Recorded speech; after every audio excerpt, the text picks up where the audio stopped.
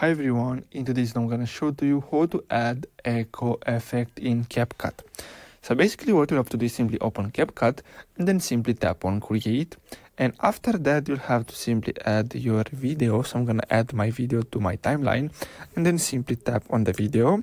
After that you'll have to simply go on and click on um, so you'll have to look for the extract audio button and after that you'll have to simply tap on it and then go to voice effects. And then here you have to look for echo. So as you can see here this one here and basically that's all you have to do. So i really hope you found this video helpful. Don't forget to like and subscribe and i'll see you in the next video. Thanks for watching